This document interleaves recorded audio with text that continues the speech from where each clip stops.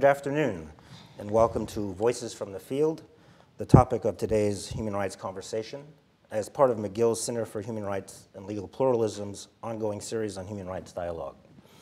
I am the moderator for today's dialogue. My name is Derek Jones. I uh, lecture at the Faculty of Law here and I'm a member for the Center for Human Rights and Legal Pluralism.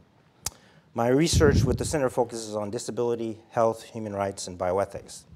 Today's dialogue, Voices from the Field of Human Rights, is graced by two colleagues uh, who are also members of the Center for Human Rights and Legal Pluralism, human rights lawyer and author Pearl Eliadis, and current UN Special Rapporteur on the Sudan, Aristide Nononsi.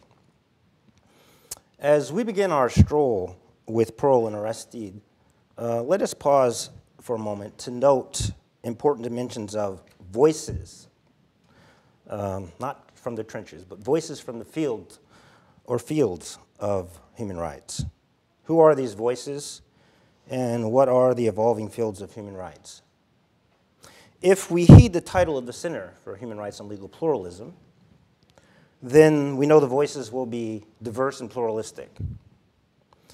Some of the who are these voices is captured in a group profile of the of the panel. We've talked about this before, but beyond being lawyers, all of us here have significant teaching experience at the faculty.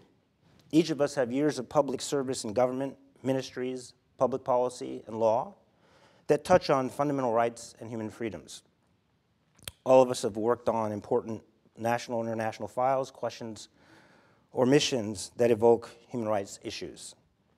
So before we get to know the particulars of our colleagues, particular path, let me seed some intrigue by a rhetorical quiz. Who amongst we three has worked with, collaborated on, or even petitioned for change the following organizations? The Canadian Human Rights Museum and Commission, government or NGOs in Rwanda, Ethiopia, East Timor, the UN High Commission on Human Rights, the African Development Bank, UNESCO, the International Labour Organization, the Law Reform Commission of Canada, or the World Bank.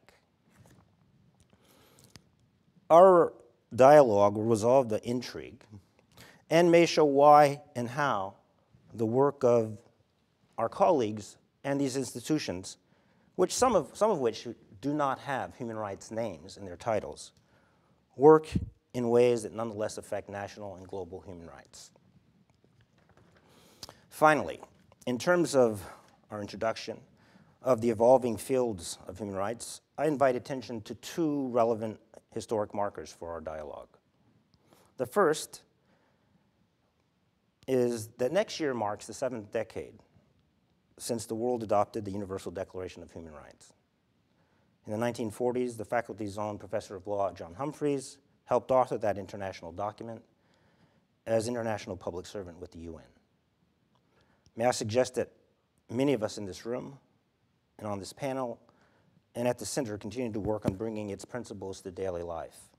Second, in that regard, 10 years after the 1948 Universal Declaration, one of its key leaders and champions, Eleanor Roosevelt, said the following about implementing the principles of the Universal Declaration. And this is an off quoted excerpt. She asked, Where, after all, do universal human rights begin? In small places close to home, so close that, and so small that they cannot be seen on maps of the world. Yet they are the world of the individual person, the neighborhood, the college, the factory, the office, the farm, the places where every man, woman, and child seeks equal justice, equal opportunity, and equal dignity. Unless these rights have meaning there, they have little meaning anywhere. Without concerned citizen action to uphold them close to home, then we shall look in vain for progress in the larger world. So, Roosevelt's vision of the layers and diversity of the fields of human rights, I think, have been visited by our colleagues. So, let's turn to them, what they've done in the field carrying forward that vision with their expertise, their labor, and maybe even creativity um, in the ongoing frontiers and fields of human rights. So I'd like to begin by asking a couple formative and personal questions, up close and personal, as they say. So to help portray the evolving and diverse human rights family, uh, maybe you could begin with uh, Pearl. Um, tell us a bit about your personal formative background. Uh, we, we three were born on different continents, so your schooling, your early professional experience, how you balance professional and field work, and if you get to it, a fun answer might be, uh, at what age did you sense that human rights became important to you? And we only have an hour. uh, well, thanks very much for that kind introduction. Thanks very much to the Center for making this opportunity available. Um, so my background actually was in biology. I started off uh, across the way here. I'm not sure which way I'm pointing. I think it's it's this way. Uh, at the excuse me, the Stewart Biology Building. I was working with uh, chimpanzees on feeding behavior of primates in captivity. And uh, at that time, uh, Jane Goodall had done chimps, so I was interested in actually in gorillas and thought that Central Africa was a great place to be. But this was around the time that Dian Fossey was getting murdered um, in Central Africa and uh, in the Virunga, and so and so there was a thought that this might not be a great idea from a career perspective. So so I kind of went down the evolutionary scale and moved into law. So I was, uh, I was, I did the common law and the civil law degrees here at McGill. Spent a little bit of time uh, at Oxford where I did my graduate work. I came back and did the bar here, and I got interested in human rights because you mentioned John Humphrey in your introduction. He um, uh, was the founder of something called the Canadian Human Rights Foundation, now better known to people, of course, as uh, Equitas. Which has become an international uh, reference point, I think, for, for human rights education uh, globally. Um, and uh, they used to have their international summer course in Prince Edward Island, which is where uh, John had his summer house.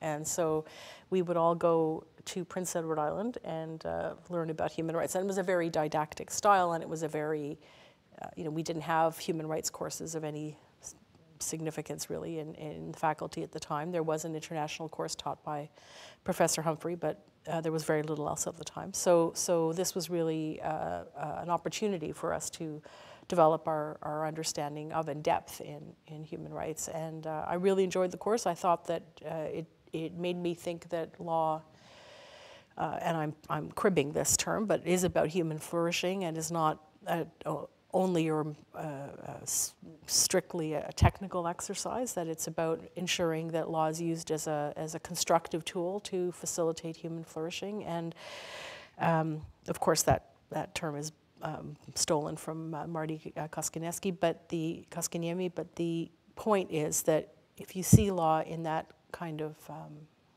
instrumental way, then then a lot changes. And, and, and, that, and I think it changes whether you practice law traditionally, which I've done, uh, or practice it uh, in a court of in a more advisory or consultancy way, which I, I do now.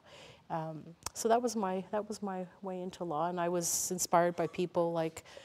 Uh, Julius Grey and Irwin Cotler and many other people who, way before it was popular to do so, were combining uh, teaching and, and intellectual work with, with practice. Uh, and, and of course that creates tensions within, within the academy, but it, it is an interesting way of thinking about how you do law and how you connect uh, the reality, if you will, uh, to, to the classroom. Great. Um, I have a follow-up question, but let maybe go to, to Aristide in, in your formative uh, path. Yes, thank you. Thanks again for the center to give us this opportunity to have to be part of this dialogue. Um, my curriculum is a bit different from my colleague, and I started law in my country, in Benin.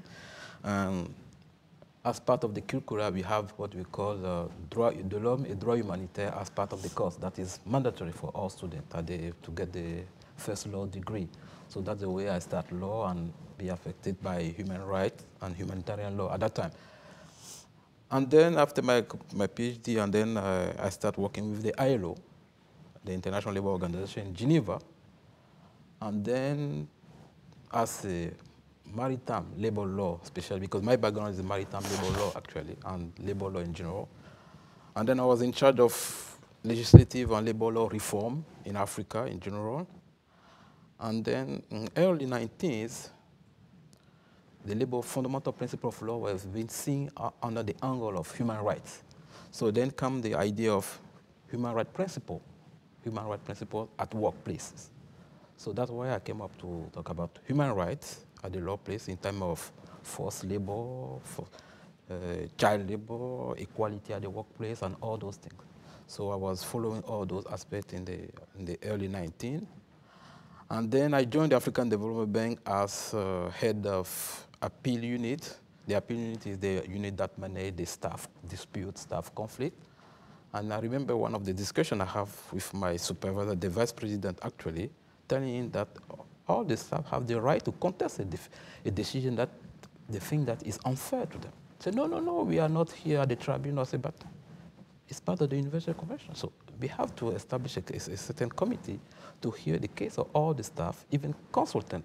Because at that time, according to the rule, the staff rule of the organization, only staff member, what we call regular staff member, are empowered to litigate the case, to have the case heard. I say, no, even the consultant, the short-term staff should have the power to go to the tribunal, to go to, to, to bring the case before the, the mechanism. They say, no, no, no. For, it took a long discussion to convince them, to persuade them.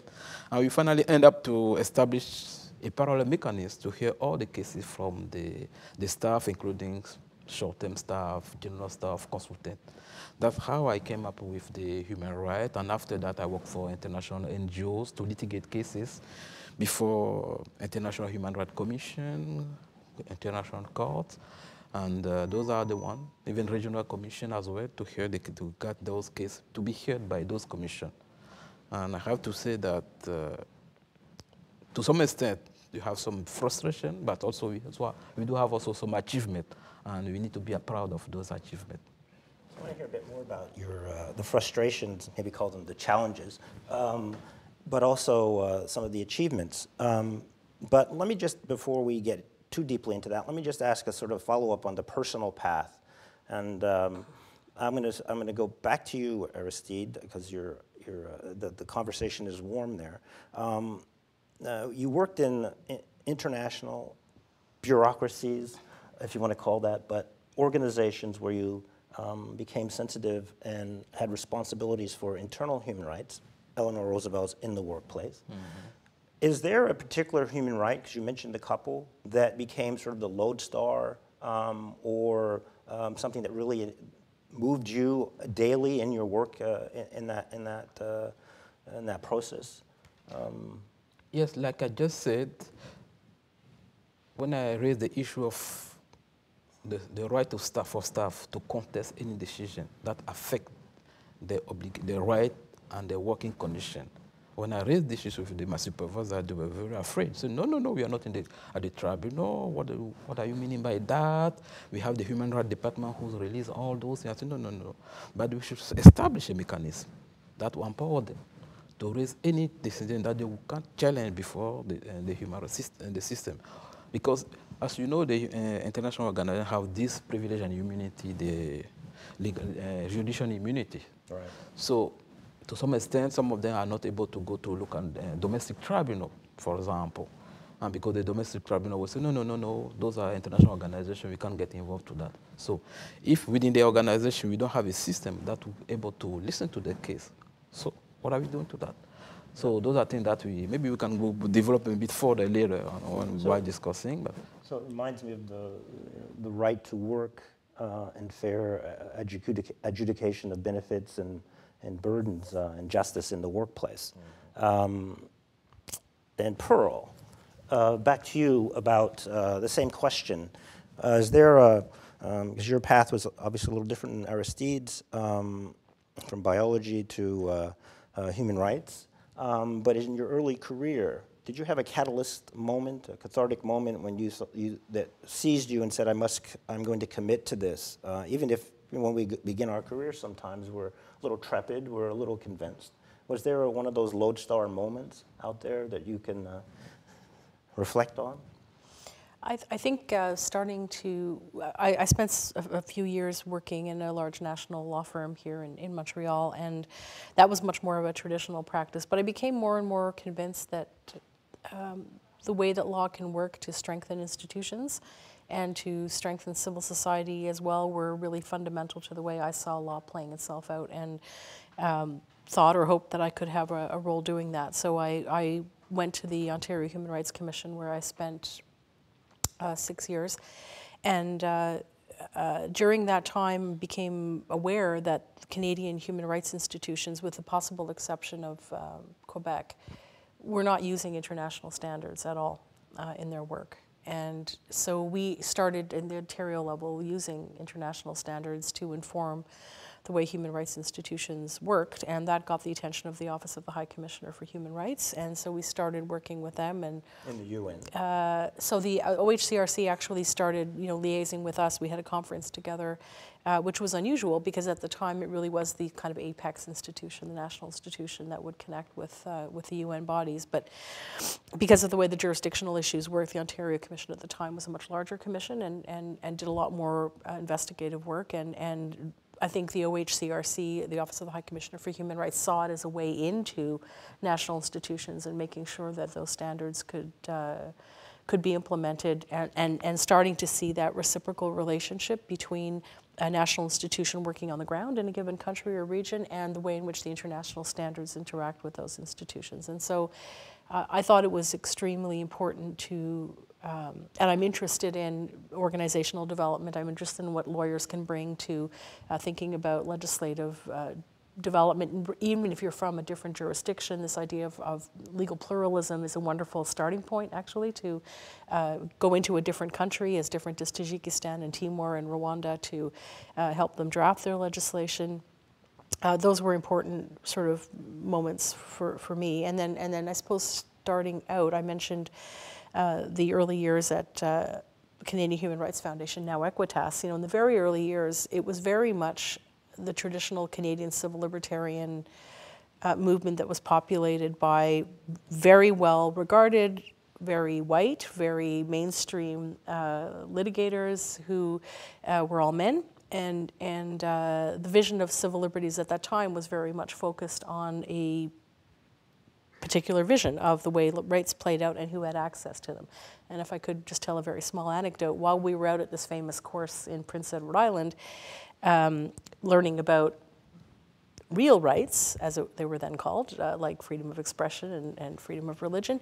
Uh, one of the one of the senior facilitators thought it would be a wonderful idea to show a film about women's rights and equality, something that was not discussed originally in the curriculum, and decided to show a film that was by the Canadian, uh, the National Film Board of Canada called uh, Not a Love Story. Now, this may predate many of us in this room, but it was a very famous documentary at the time about uh, uh women in the in the in the what we now call the sex trade industry, and. Uh, the moment that the film was uh, started to be shown to the participants in the room, a senior person from the organization, whose name shall be unmentioned for the purpose of this uh, video, uh, arrived and fired the facilitator, and indeed fired the executive director on the spot. Uh, and, and although that was a bit dramatic at the moment, it actually you know, was a, a wonderful um, moment for explaining and showing and demonstrating to everybody in that room how the vision for rights and what we call rights and how we as lawyers and law students need to think about rights differently needed to change. I was going to say amusing, but not quite. Um, so, Lynn, let's turn to some of your, your current, um, and I use that in a broad sense, ongoing um, human rights focus in the field. Um, so, drawing on your expertise, scholarship, and experience on key human rights challenges, maybe you could talk about two major ones that you have been uh, working on or continually working on, studying, confronting. And as part of that, that's to give an insight into your practice uh, recently. Um, and why should the public care? Um, because uh, one of the things about human rights on, uh, on your global stage is it's far from home. Um, and uh, that's a major challenge, I think. But uh, would be very interested in two key challenges of your current sort of portfolio. Okay.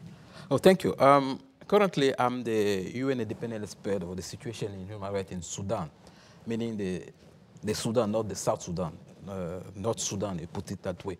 Um, my role is uh, to assess the human rights situation, to verify, assess, make an investigation, and report to the Human Rights Council, not only the Human Rights Council, and from time to time also to the General Assembly in New York as well on the human rights situation.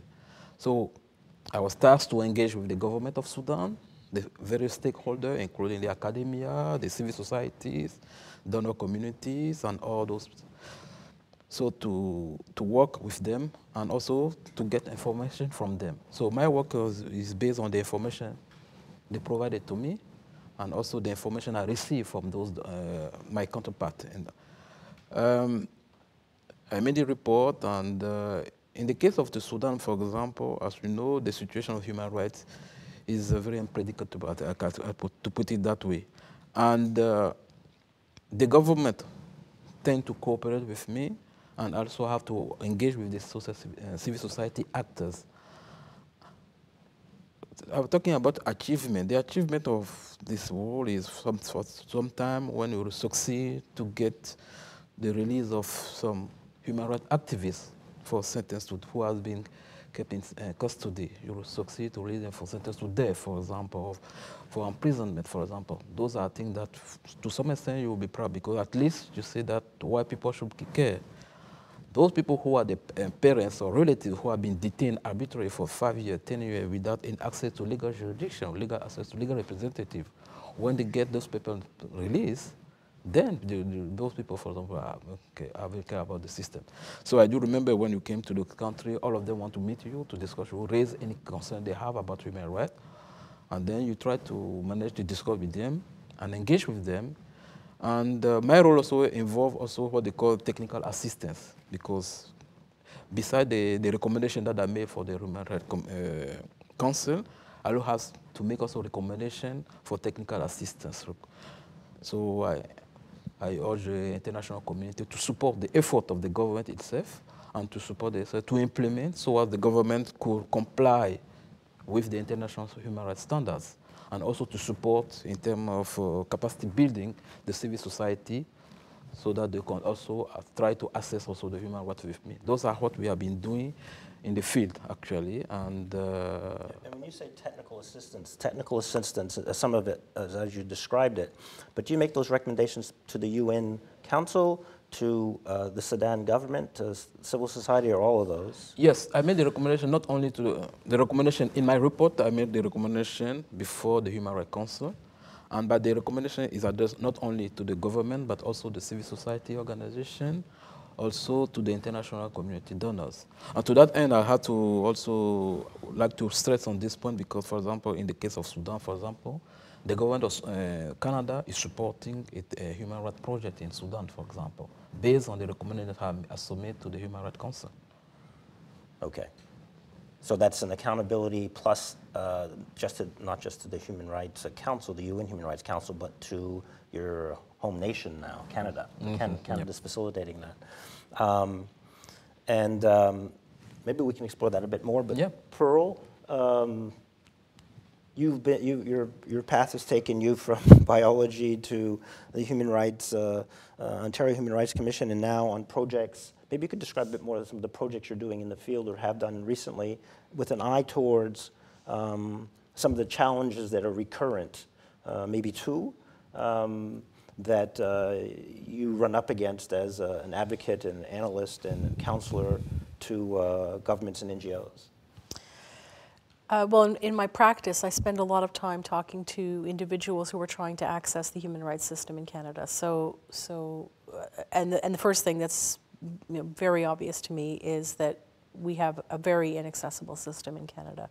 Although filing a human rights complaint in Canada is technically free, um, the reality is that for many people the system is confusing, they don't understand it, uh, or they have a different position on their case than the Human Rights Commission ends up having. And so the types of supports that are in place, I think for the average person, I, I had a call with somebody this morning who, um, you know, wanted to uh, retain a lawyer to help her on a complex case before the Federal Court of Canada, and uh, the fees that she was able to afford were uh, less than half of, of what a relatively small firm in practice would be able to charge. So I spent a lot of time talking to people who uh, essentially are unable to to access the system. And and on the international side of what I do, this issue of access to justice, I think, is really, really fundamental. And it's, of course, much more pressing in developing countries. Um, I've also had the opportunity of working in Sudan. In fact, we found out that we have a, a connection with the, uh, with the National Human Rights Institution in, in uh, the Republic of Sudan.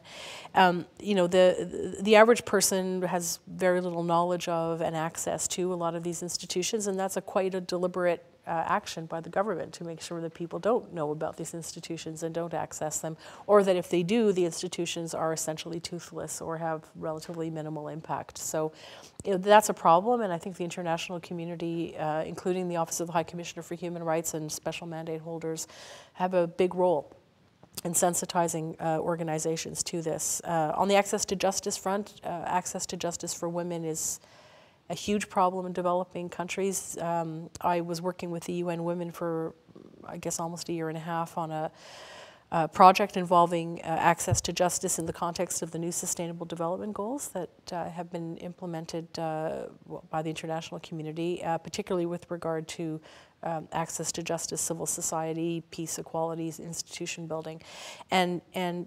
Uh, one of the interesting statistics that came out of this work was that 80% of women in developing countries go to informal justice mechanisms in order to have their result their their disputes resolved. And, and, and that was that was a huge eye opener. I mean, I certainly you know one thinks in rural areas perhaps you understand it, or uh, in, in remote areas, but 80% is a, is a big number, and it really signals the limited reach of what you know, is often called the classical court system and, and its limitations in terms of being able to uh, offer people meaningful, meaningful resources and meaningful access to resources. So uh, that's an area that I've, I've spent time working in and, and thinking about, and, and it really makes you uh, understand the critical importance of connecting formal law, as we understand it in this faculty, with uh, what happens on the ground for most people, which has no resemblance or very little resemblance to formal law. So, um, uh, just a quick question that maybe crosses both of your fields is institution building, building these human rights commissions um, or, uh, or, forum in other countries. Is that part of your technical assistance as well?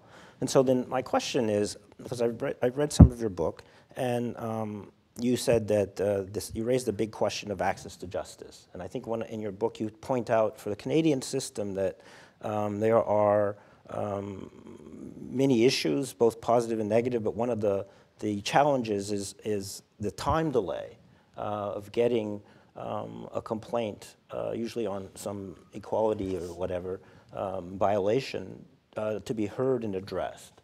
Um, so um, I was struck by that. Um, you consider that an access to justice issue, and what do you see as um, that parallel to in, in, in other countries? Um, is it the existence of commissions like that? Um, and then maybe we talk about some solutions or.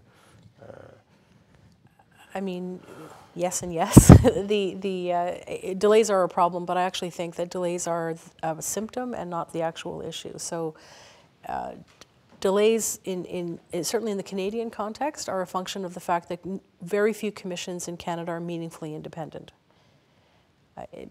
They are meaningfully independent compared to many other places. But uh, in Canada, the way in which appointments are handled, uh, relatively limited terms for most of the uh, most of the nominees, um, the way in which uh, governments uh, require certain forms of accountability, the way in which the purse strings are held uh, by the government, all of those things limit the the meaningful independence of the human rights institution, which are controlled by lots of strings that are mostly operating behind the scenes.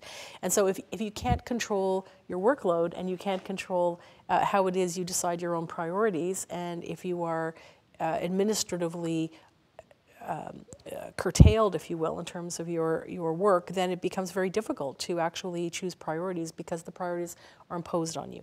And so that means that um, you end up uh, having difficulties in terms of managing your caseload because you have almost no control over your caseload at all. Canadian commissions generally have to pretty much take anything that comes through the door except for you know, frivolous cases or aged cases and the like. Um, the way this plays out internationally, I mean, uh, every commission I've ever worked in, uh, and ombudsman, by the way, so I've also done ombuds work and transitional justice work. Um, but on the complaints front, the, problems in, I think, in, in international uh, institutions is that they don't have a formal connection to the legal system. So in most jurisdictions, uh, Sudan's actually one of them. Uh, when you file a complaint, uh, it does not automatically go to the court system. The commission can make recommendations. The commission can uh, can can uh, contact the other institution, try to make a, an amicable settlement and the like. But it does not formally take the case and go to a specialized human rights uh, adjudicative body. That's different than Canada. It's different than a lot of uh, Northern and Western Europe. Um, in Sweden, for example, they also have this idea of being able to litigate. If you don't have the teeth to go with the the file, so to speak, if you don't have the ability to actually enforce uh, your decision, then uh, the institution is toothless and, and, and has a great deal of difficulty being taken seriously. And the government, generally speaking, has every interest in ensuring that institutions are not taken seriously. So contrast that to Canada now. We've had this big case in at the federal level um, uh, called the First Nations Child and Family Caring Society case, where an Indigenous uh, uh, social worker brought a case to the Canadian Human Rights Commission, then to the tribunal, asking the uh, Canadian government to effectively eliminate systemic discrimination against Indigenous kids on reserve.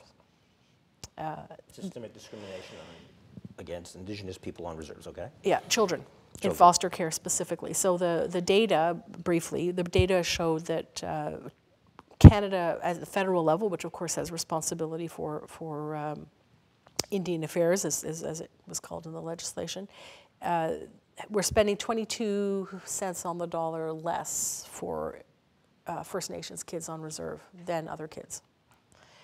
Uh, and, and there were a lot of systemic consequences that flow from that, including people seeing foster care as being kind of the, the legacy of the residential school system. A lot of Indigenous people see real continuity between, between those two. So um, that case went to the commission. Unlike many other countries where I've worked, the commission simply would have made a recommendation, sent a report to the government, and that would have been it. Uh, in the case of what happens in Canada, the decision of the commission actually goes to an adjudicative body that can then go to the courts. Uh, and there was a decision that the government needed to fix that. And that decision has legal, needs to fix the discrepancy and needs to fix all the systemic things that go with it, like, for example, First Nations kids being significantly overrepresented in the foster care system in Canada, among other things. Uh, and you know, we all know the connection between that and later on, you know, lower life indicators, health indicators, social indicators, uh, overrepresentation in prisons and the like. So, so these things are all connected, and to have uh, national institutions that are actually able to um, say to the government, uh, you are required to do this. We have an administrative and a judicial system that are that is independent and is capable of actually uh, implementing uh, those decisions based on a system of governance where you have an independent judiciary.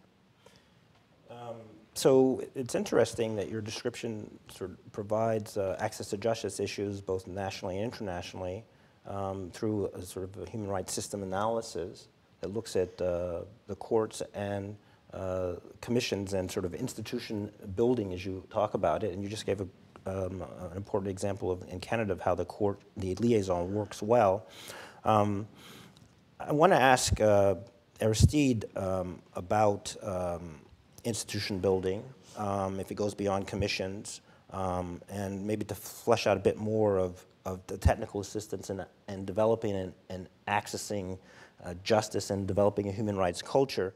Um, and on the tail of that, I want to talk, ask, ask, you both um, about uh, integrating um, education, human rights literacy, and your own scholarship in that area, mm-hmm. because you're, you've both been uh, faculty members and mm-hmm. teachers and scholars, mm-hmm. and uh, I, I guess what I'm getting at there is the relationship between your field work and your um, uh, academic work. Um, but that's the latter part of my question. My first question is um, has to do with institution building and access to justice.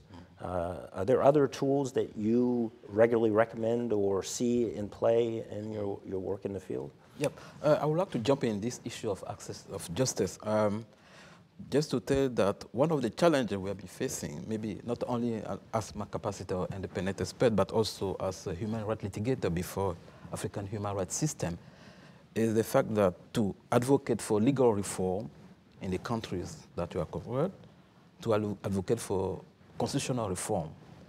Um, we talk about access to justice, but another case came to me when we in a country where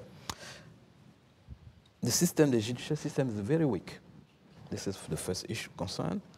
And not only that, we also end up to the case where for sexual gender-based violence, for example, people, women are victims of rape, sexual gender victim. And when our role is through human rights education, what are your rights, what are, not, are you able to, to litigate your case. So our work to some extent to encourage them to bring the case before those systems, even if they are weak.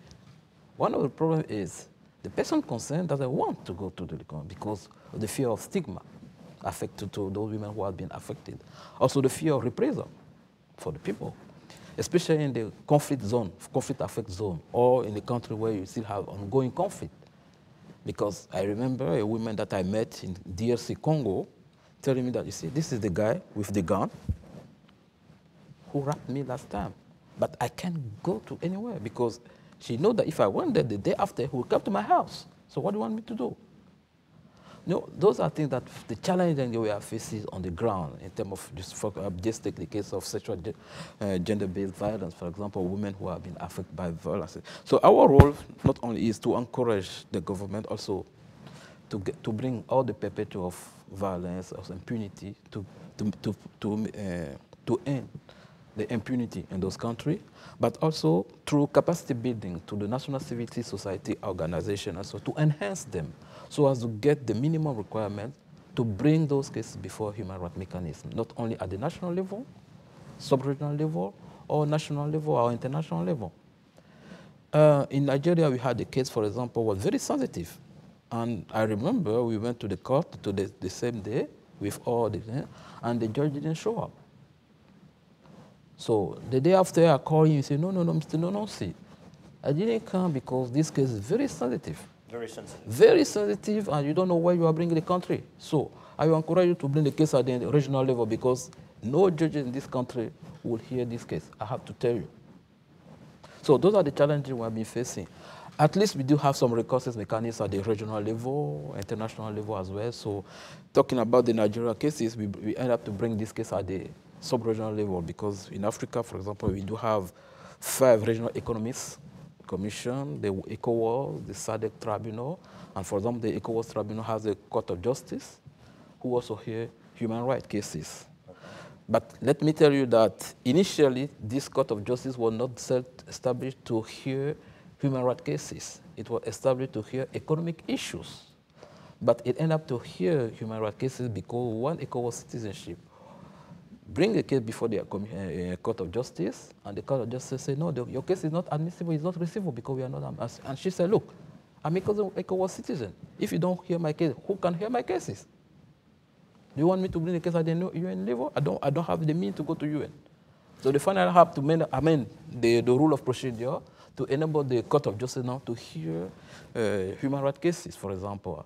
So people now can litigate before human, uh, the Court of Justice for the ECOWAS. And this is the same before the, all the Court of Justice of SADC Tribunal, the East African Tribunal, and the Central Africa also Tribunal. The, um, and do you address in your work as a challenge on the ground, or, do you inculcate that into your, um, your actual recommendations or your dialogue, these informal systems of, of justice that uh, Pearl mentioned? For instance, it's a graphic picture of the mm-hmm. woman coming to you mm-hmm. saying, uh, I would like to bring this person to justice, but I can't do that. He has the gun and the courts won't hear it. Are there, in those situations, are there informal systems of justice that, that influence your work or? The, this, one of the suggestions is to, to set up, for example, let's say we're talking about Sudan, to establish, for example, a special prosecutor for Darfur for special crime, for example. This has been established. A special prosecutor for, for Darfur crime, that's to go to, to hear all the cases relating to violence, abuse, rape, and all those things. This is at the international level and national level. But to some extent, we also encourage them to establish kind of transitional justice for example, to hear some cases that will be able to be heard by the national mechanism. But once again, Can you, can you, just before you go on, can you explain what you mean by transitional justice? Now, These We are have- terms of art that you're familiar yes, with. but- we, we tend to have the, what we, we call, let's say, maybe informal justice, having, for example, to get involved the elders in the communities, for example, to hear the cases, and then if somebody, somebody will have to be punished to get in custody, they will bring this case to custody. If they find that this case is very grave to them, then they can bring it to the national justice through the national human rights institution that has been established, or through, for example, in the case of Sudan, for example, they also have this advisory commission, human rights commission that are based at the Ministry of Justice also, that is able also to hear some cases. Okay.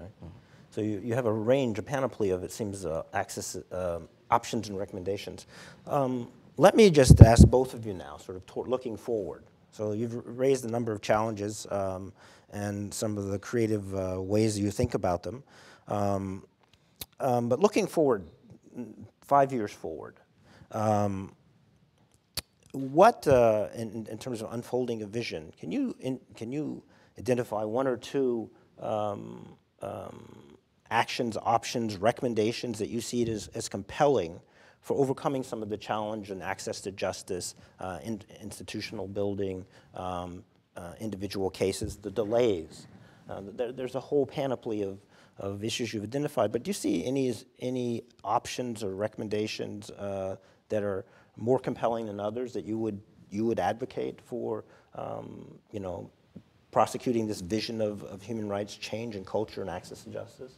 I think the first one uh, is transnational justice. So, uh, helping uh, human rights organizations and civil society organizations advocate for legislation uh, or common law developments to ensure that cases that happen in countries that have very weak judicial systems can actually be litigated in a country like Canada. So I'm, I'm closely involved with uh, an organization called the Canadian Centre for International Justice. It's Ottawa based. Um, and we've been involved in legal teams that have just won two huge, I think, hugely important cases in 2017, both of which have, uh, with regard to Guatemala and Eritrea respectively, decided that the actions of Canadian companies uh, that are engaged with or allegedly associated with human rights abuses, including uh, you know serious human rights abuses like like slavery and, and forced labor, uh, that those kinds of cases can in fact be adjudicated in Canada if there's a sufficient connection to the jurisdiction, i.e., uh,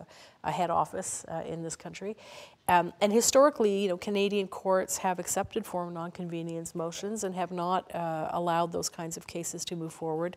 These two cases in Canada this year, the Tahoe case in British Columbia uh, in two, January 2017 and the Nevsun case uh, this month uh, at the British Columbia Court of Appeal, have both decided to accept jurisdiction now. You know, the- from uh, Guatemala and Eritrea, respectively. So, so Interesting. so it is very interesting, and, and I think I think it means that we are, and, and- and in the Nevsun case, the court decided that the hook, if you will, that gives the legal uh, uh, jurisdiction to the court um, can be based on customary international law, which, to the best of my knowledge, in a in a private law case, is the first time it's happened in Canada. So, I think I think encouraging that kind of of reciprocity and and uh, uh, responsibility, I think is a better word, in jurisdictions like Canada to assume jurisdiction when there's a, a case like this he- helps other countries, I think, to, to look at what the elements are of countries that do respect the rule of law and start to implement them where it's possible. In Eritrea, clearly it was impossible, and uh, Resources, the mining company in Eritrea, you know, was, was standing up before the courts and saying that the Eritrean court system was just fine.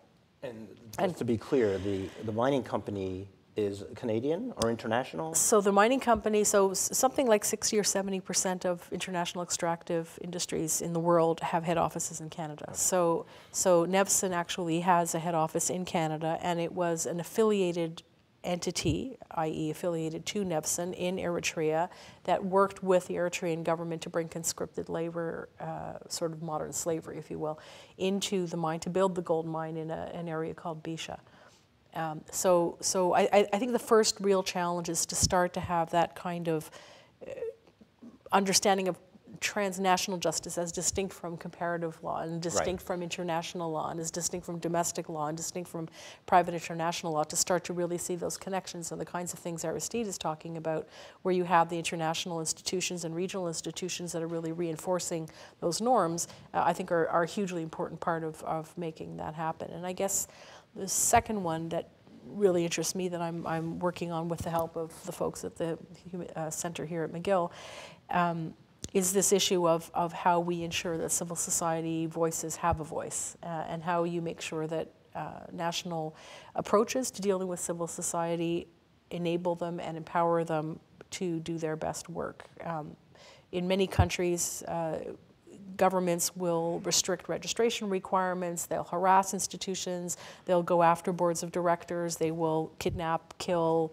uh, and disappear individuals who are closely connected with with uh, civil society organizations. In Canada, it's less dramatic, but certainly under uh, the Harper regime, we had 10 years of, of a government that uh, used uh, tax legislation to actively harass um, uh, charitable organizations in Canada, restricted their advocacy.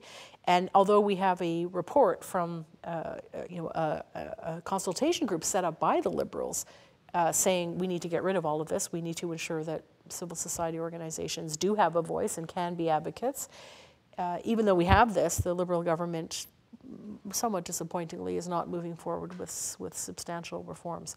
So, so many challenges ahead. Can I just be very clear about, uh, before I turn to, uh, to um, Aristide to conclude, can I just be very clear about the wrong that this Canadian mining company that didn't want to be confronted in Canada did in uh, in, in, this other country? What is the alleged precise wrong? So the alleged precise wrong is that they contracted with uh, a subcontractor in Eritrea that was connected to the military so that the people who physically built the gold mine in Bisha were forced workers who had been conscripted from the army and were brought in and had no choice in doing so uh, to work in the mines, one, and two, that they were subjected to uh, not decent working conditions, that they were tortured uh, as a form of discipline, um, many of them have uh, first and second degree burns from being put out in the, the sun uh, in a desert area when it was 47 degrees and were told to roll around when they hadn't done anything, uh, done what was expected of them to do, and that was their punishment.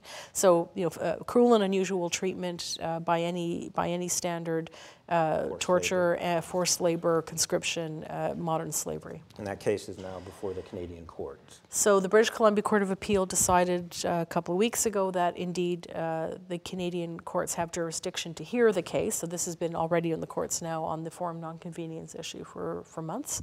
Uh, that's been resolved, and now we go back to the first level court uh, on the merits. And so transnational justice of the type you just described is one um, potential promise and necessity you argue on uh, for the next five years. And Aristide, in your work, can you identify um, necessities uh, priorities uh, amongst the galaxy of challenges that you've outlined a bit? Yeah, oui, oui, oui, oui. Euh, je dois dire sur cet aspect, et ça me permet donc de jump in what qu'elle a dit, que une de nos préoccupations dans ce domaine euh, aussi, c'est de voir les, la mise en œuvre des décisions de justice. Bien que ces décisions de justice ne sont pas suffisantes, les quelques décisions qui ont été prises que l'État les mette en œuvre. Et c'est aussi une difficulté qu'on a, parce que souvent, comme vous le savez, les, commissions font des recommandations, ce n'est pas binding comme on dit en anglais, et même quand c'est binding, dans le cas par exemple des cours, vous avez des cas où le gouvernement dit c'est bien beau, mais moi, je ne mets pas en œuvre. Qu'est-ce que vous faites? Voilà. Et c'est ça, c'est ça l'un des grands défis c'est tout le débat de la soft et hard law dont on parle en droit international. L'État dit oui, mais moi je ne le mets pas en œuvre. Et ça me permet donc peut-être de parler un peu de ce cas de, que nous avons aussi défendu. Quand elle m'a, ça m'a juste fait dans le quand on parlait de mining industry. Une compagnie canadienne aussi qui, dans le sud du Congo, a été complice avec les autorités Anvil Mining, pour ne pas la nommer, euh, de massacres. Il y a eu des gens qui ont été exécutés parce qu'il y a eu un soulèvement et puisque ça affectait un peu leurs activités, il a été établi que la compagnie minière a fourni des véhicules et de la logistique aux soldats qui ont massacré à peu près 70 personnes. 70 Et tous ceux qui allaient. Donc il y a eu des blessés, il y a eu un véritable massacre. Et nous avons porté l'affaire devant les juridictions canadiennes, mais ça n'a pas été euh, admissible, hein, recevable. Ça a été, a, été, recevable en première instance, mais en seconde instance, la décision de la première juridiction a été cassée. Donc, en seconde instance, on a estimé que le cas n'était pas recevable parce que les faits étant passés en territoire, pas dans le territoire canadien, mais au Congo. Voilà, c'est exactement. Ce que nous avions fait, des années plus tard, nous avons porté l'affaire devant la Commission africaine des droits de l'homme en invoquant cette fois-ci la responsabilité de l'État congolais. Nous avons d'abord su la recevabilité parce qu'on on s'est demandé pourquoi c'est maintenant qu'on vient, parce qu'il faut épuiser toutes les voies de recours, ce que nous avions fait. Donc, après le côté admissibilité, donc recevabilité d'affaires, la Commission a rendu sa décision cette année seulement, où les personnes sont censées être euh, euh, indemnisés à coût de millions de, euh, dollars pour, par personne. Mais la difficulté qu'on a, est-ce que l'État va pouvoir les mettre en œuvre? Ça, c'est la difficulté. Ça, c'est le défi. Ça, c'est le défi. Ça, c'est un défi parce qu'on a vu par le passé que l'État souvent refuse de mettre en œuvre.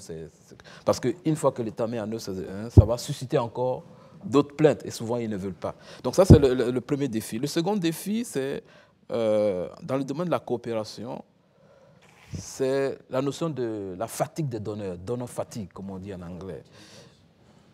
Vous continuez de demander plus d'argent pour les droits, humains, les droits de la personne. À un moment donné, ils sont fatigués. Ils sont fatigués et il faut arriver à convaincre tous ces donneurs-là de la nécessité de continuer leurs efforts parce qu'à la fin du processus, nous parlons de la mise en œuvre des droits de l'homme, la promotion des droits de l'homme et de la personne et la protection des individus, surtout, surtout ceux qui n'ont pas la possibilité d'accéder au système de justice qui sont déjà établis. Ce sont les deux défis en, ce qui me concerne dans le travail que je fais de tous les jours qui sont importants. La mise en œuvre des recommandations et la continuation d'avoir encore de la part des donneurs un grand intérêt pour la, euh, protection des droits. Parce qu'il faut dire, dans certains cas, par exemple, et ça me permet de rebondir par exemple sur le cas euh, du Soudan et de la Libye, par exemple, qui est encore c'est que nous avons vu, par exemple, aujourd'hui, la notion des migrants, par exemple, qu'on est en train de bloquer, et qui, avec qui on coopère, on coopère le gouvernement libyen, euh, ou le gouvernement soudanais, qui eux-mêmes sont coupables de violation des droits de l'homme. C'est ça la question. Par exemple, dans le cas de, Soudan, on s'appuie sur les Djanjaouis. Elle doit savoir qui, sont les Djanjaouis, qui est une milice, parce qu'on on demande aux Djanjaouis maintenant de stopper la vague migratoire. Voilà un peu des, concerns, comme on dirait en anglais, qui, nous posent parce que finalement, on se dit où, allons-nous? Donc, c'est des défis pour lesquels nous continuons de discuter avec les différents partenaires pour voir comment, sous quel angle approcher tous ces défis-là. Thank you. Um, you. The last two cases you evoked uh, sort of responded to, at least um, uh, in terms of image and the compelling nature of the facts, and the, the Canadian uh, in one instance, a company in the national, um, perhaps uh, um, um, cooperation or facilitation mm-hmm. in, uh, on your issues of transnational justice, uh, lead, me, lead me to want to ask, although we don't have the time, is how you bring these examples into your, into your teaching, because those are compelling examples. And, but they do, they do answer one of the questions I ask is why should we care? And I think that uh, it brings us back to where we began, which was uh, um, on these universal, uh, this notion of universal of human rights and their violations and, and defense uh, around the world. And you've, you've, given a wonderful portrait of uh, certainly the challenges and maybe some hope for um, some uh, ways of remedying it in the future. Um, so with that, um, I would ask that we conclude today's conversation and thank you both for your contributions.